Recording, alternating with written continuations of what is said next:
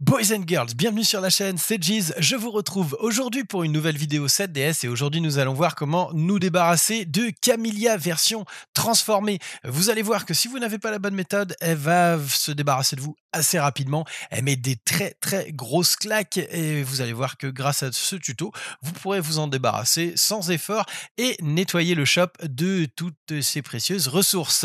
C'est parti, on y va.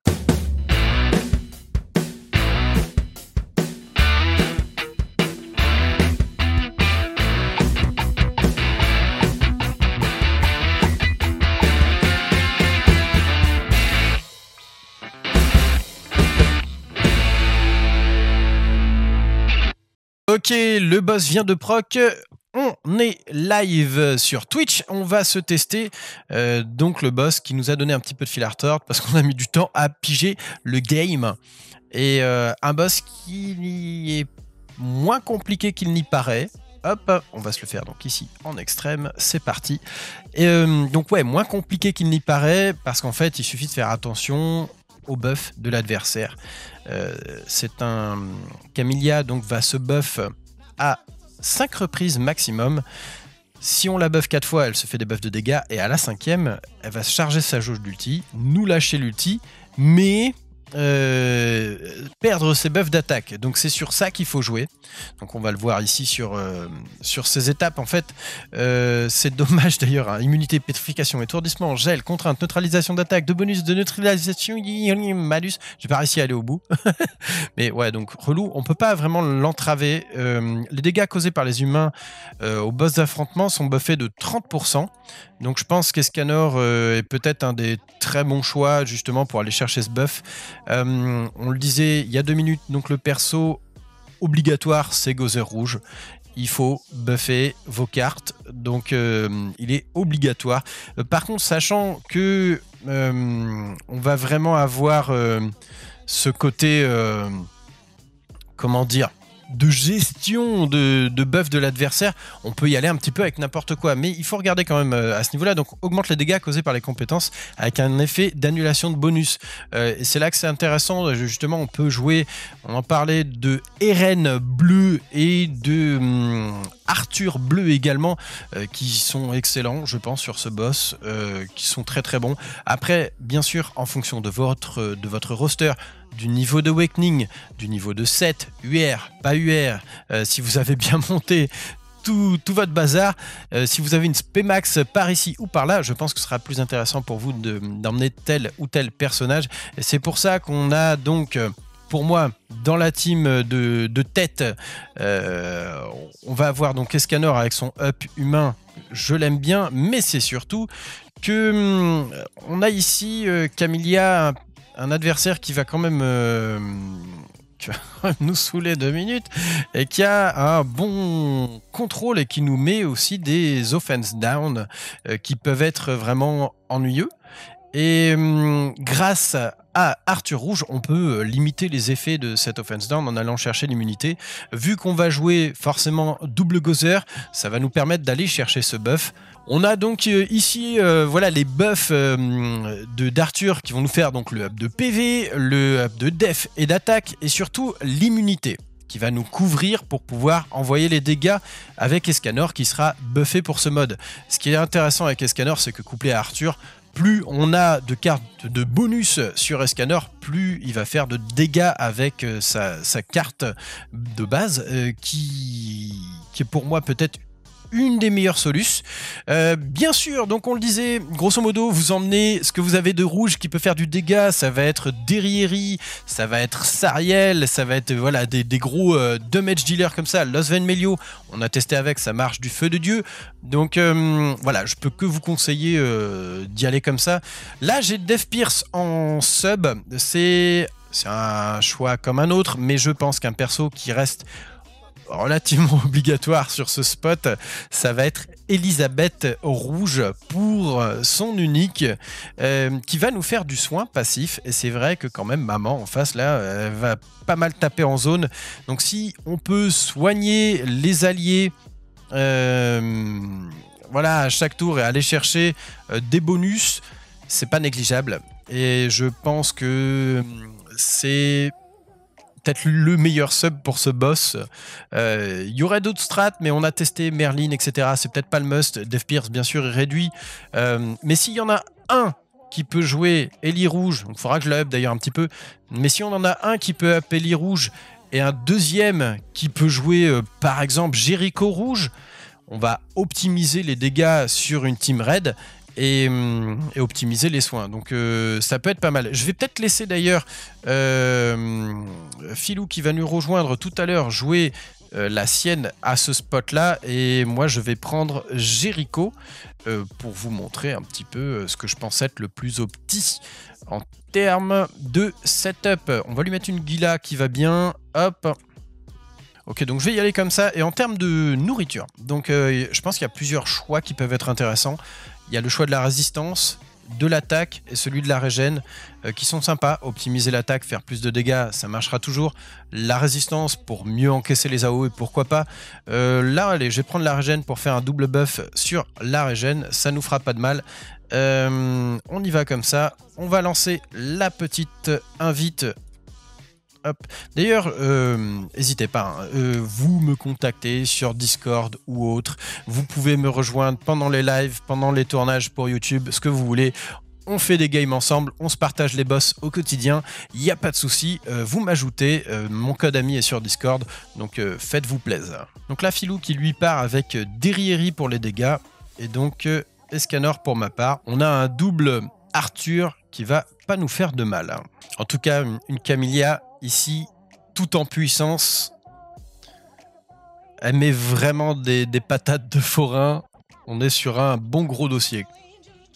Alors vous allez le voir, au fur et à mesure qu'on la cogne, elle va se buffer.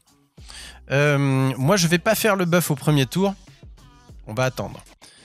On va taper 5 fois. J'en fais 3. Il en faut deux autres. Et donc au prochain tour, on ira chercher le buff pour toute la team.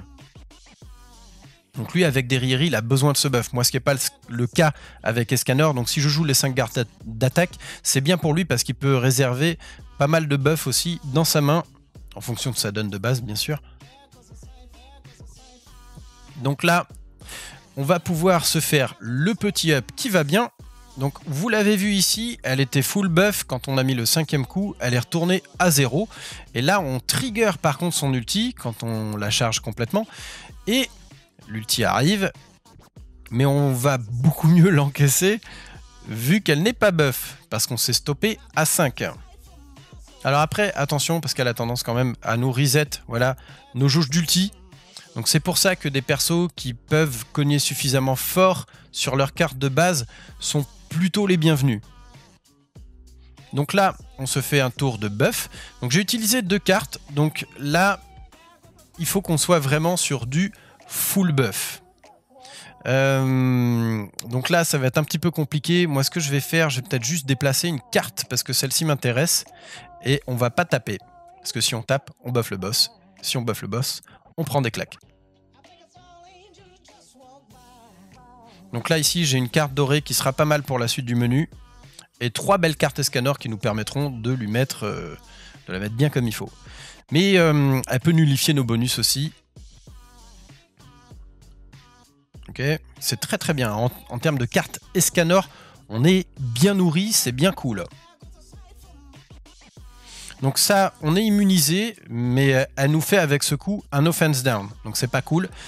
On a perdu tous nos bonus, donc on le sent que ça, nous fait du mal. Hein. Ça nous fait du mal. Donc moi, je vais refaire un buff. Ok. Donc ce qui veut dire que 1, 2, 3. On pourra pas le faire, mais normalement ça devrait être suffisant pour la tomber parce que les buffs de Gozer plus ceux d'Arthur, normalement rendent Escanor euh, voilà, quand même assez solide. Donc euh, ça devrait aller. Hein. Voilà. Petite euh, clacounette. pardon, pardon. Désolé pour la carte de Derry du coup, mais euh, tout est tout s'est passé si vite.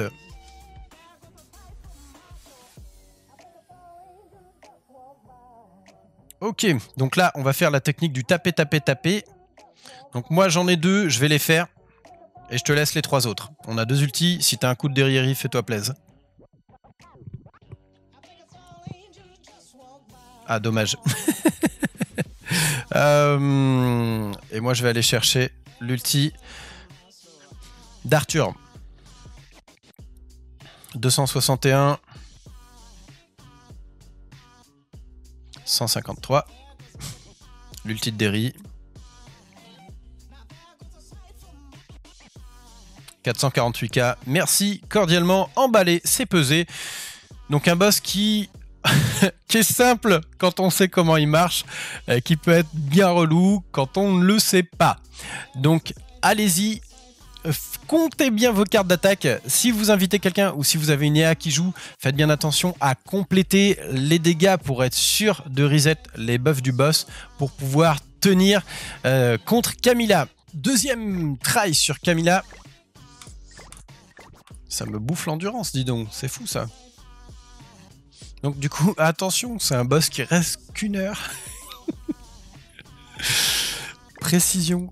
Euh, hop, misclick. Hop. Euh, du coup, ce qui est bien avec ça, c'est qu'on est stuffé, on n'a pas besoin de refaire le truc. Euh, voilà, donc ça c'est cool. Merci, bonsoir. Euh... Ouais, non, on va, on va se la retenter un petit coup et euh, on va voir ce que ça donne. Je pense que le double, le double Arthur permet d'être un peu plus safe. Après, je pense si on veut aller plus vite, euh, je pourrais, pourquoi pas, enlever un Arthur et mettre euh, Sariel. Why not? Tu vois, est-ce que je vais le faire? Tiens, on va, je, vais le, je vais me mettre un petit Sariel. Voilà, histoire de montrer où, je change les deux.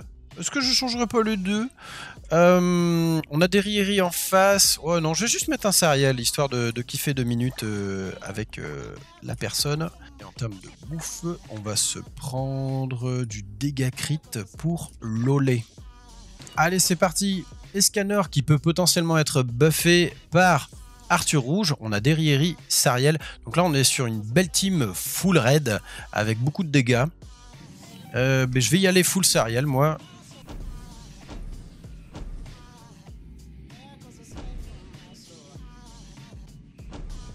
Peut-être dû faire la petite place aussi.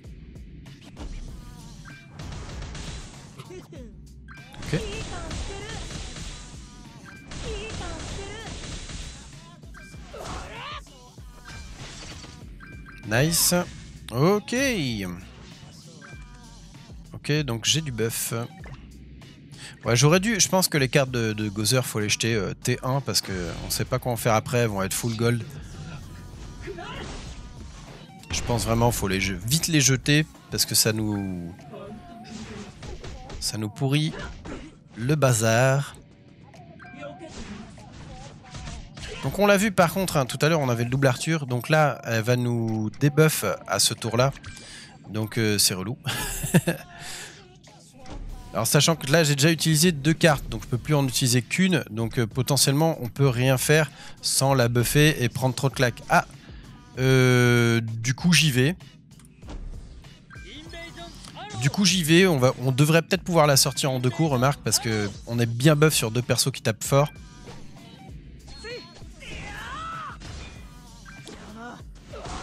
114. 253. Donc un premier tour qui, passe, euh, qui passe sans douleur. J'ai pas vraiment les bonnes cartes pour Escanner. Pour Sariel, j'aurais préféré le mono-cible aussi. Enfin, ouais, j'ai pas de carte mono-cible, quoi. Euh, c'est ça, hein. Mais on va y aller quand même. Hein. Euh, je te laisse jouer Derrieri. En fonction de ce que tu as, je complète.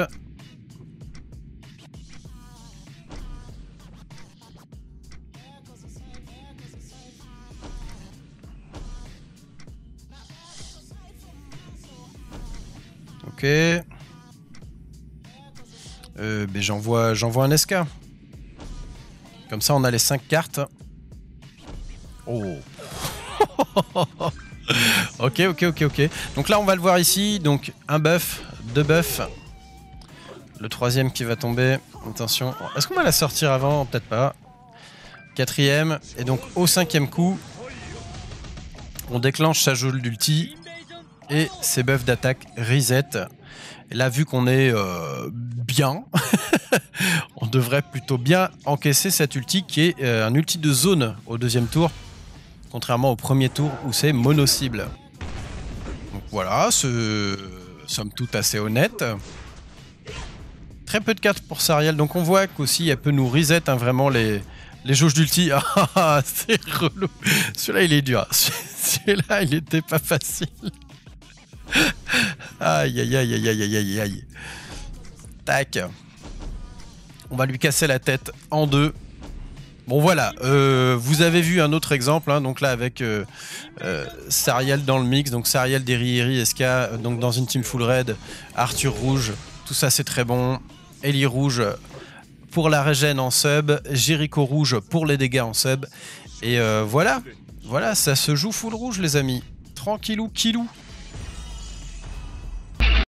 En tout cas, ce boss nous aura bien fait marrer sur le live Twitch. Euh, c'est vrai que voilà, ça a mis un petit peu de temps à monter au cerveau pour avoir le bon fonctionnement avec le boss, mais euh, bon, on s'en est sorti. Euh, et ce tuto, est là pour vous, pour vous éviter de faire les mêmes bêtises que moi. Donc voilà, j'espère que ça vous aidera à pouvoir bien nettoyer le shop et tout et tout. N'hésitez pas si vous voulez être au courant des prochaines vidéos 7 Deadly Sins, vous vous abonnez, vous activez la petite cloche, les notifications, vous mettez bien comme il faut. Pour ma part, je vous retrouve très bientôt sur Twitch ou sur YouTube. Et d'ici là, soyez sages.